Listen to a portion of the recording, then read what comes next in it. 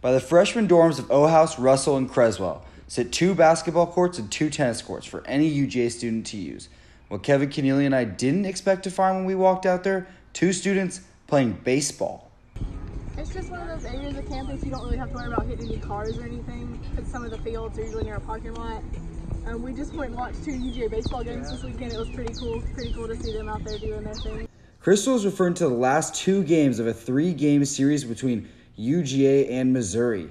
The last two games took place on Friday and Saturday, in which UGA won 5 to 2 and 4 to 2.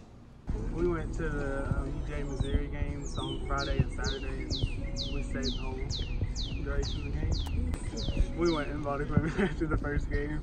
The equipment consisted of two Rawlings gloves and one baseball. Both have been friends since high school, where they went to Chattooga in Summerville, Georgia. Neil enjoyed watching the Atlanta Braves while growing up. I've just always been really interested in baseball. Uh, favorite sport to watch.